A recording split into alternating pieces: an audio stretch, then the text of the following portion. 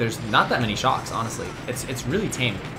It's a lot easier to beat these time trial records. Near impossible on regular VS, on most tracks. Because one shock just kills it.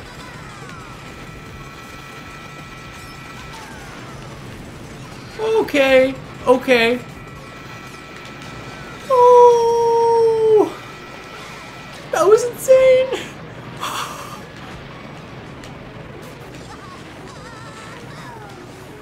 Yeah, that was the best lap ever, dude. We dodged like 50 million items, and we somehow didn't hit anything.